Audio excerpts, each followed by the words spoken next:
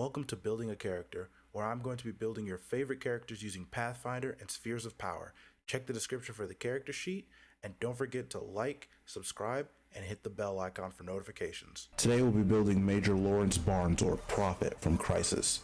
There's going to be a remake at some point, but it's a waste of time because I still can't run the first game on my PC.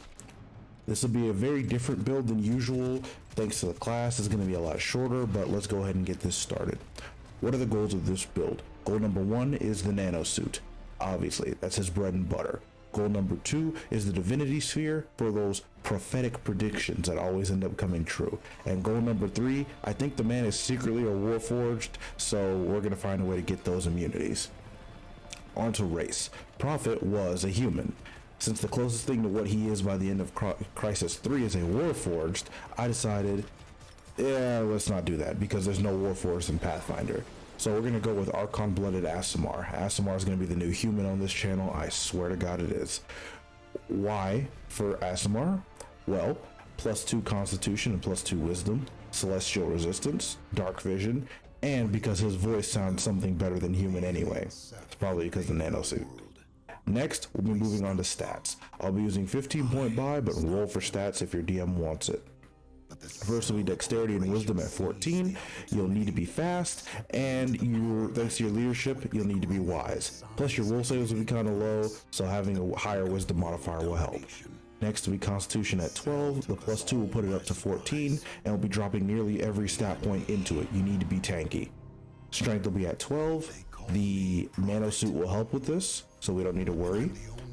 Um, intelligence will be at 11. Don't need it too much for other than skill points and last will be charisma at 10. Even though you're a leader, you're basically a robot and you suck at talking. Now then, all 20 levels will be in conscript. I'll put the progression chart up on screen now for you to see.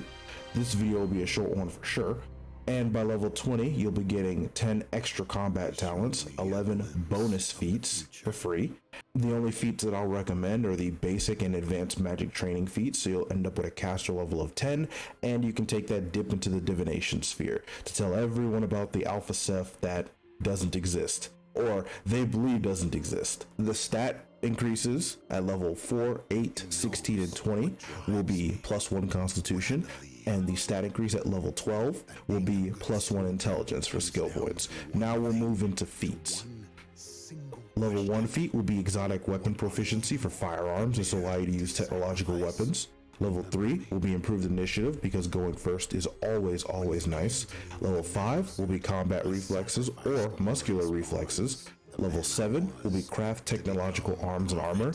You don't need to worry about it too much since your crafting will be relatively low, but in case you want to go into technological weapons, it's a good thing to have.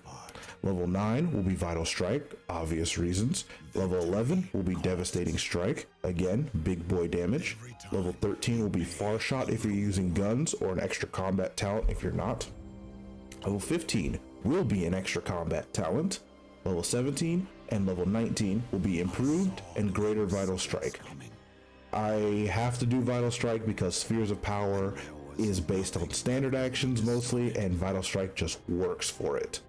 Anyway, we'll move on to the nano suit. Since it does have scaling and since you'll be taking the full progression of uh, its scaling thanks to conscript, you can you can easily easily get a number of different talents not only because Conscript gives you all those bonus uh, talents and feats, but because with the way the pilot sphere works, you can get extra mech enhancements that would increase your either defensive abilities or offensive abilities, depending on how you want to do it. The first thing we'll do, dip into the pilot sphere, take the sealed in the machine and cyborg pilot drawbacks, then take bonus customization every five levels, the two biggest upgrades that you'll want and need is Shielded Cockpit at level 13 and Cerebral Reinforcement at level 15. With both of those, you basically have construct immunities while being a human or Aasimar. Obviously, you'll take the bipod mech, and by level 20, you should end up with around 22 strength, 30 dexterity, 41 AC, 350 health, and 20 hardness, or so. Your will saves are low, but the construct immunities will basically avert some of that.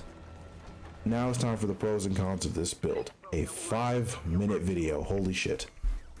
For pros, construct immunities. I don't even need to say anything else. Number two, you have a massive, massive, massive health and hardness buffer. You will almost be taking no damage half the time, at least by level 20. With that 41 AC and that 30 and the 350 health, you almost never need to worry about anything other than like AoEs. And thanks to your nano suit, you have a massive reflex bonus. So even AoEs you can kind of scoff at. Number three, you're a jack of all trades. Thanks to the conscript uh, class, you can go into any and well, any combat spheres that you want to kind of build him however you want. Do you want to use the bow? Take the sniper and barrage sphere. Do you want to use your meat mallets? Take the open hand and wrestling sphere. Do and brute. Do how you want to do. For cons, you're a jack of all trades, which means you're going to be everywhere unless you decide to specialize. Number two, it does require a bit of a certain setting. If you're going in like a in like the standard Pathfinder setting of kind of medieval, this is not the build you want to use. Go with the uh, Jean build that I made for an army, or uh, the Alucard build that I made for you know a vampire. I don't know how you want to do it. Those bills will be in the card up top.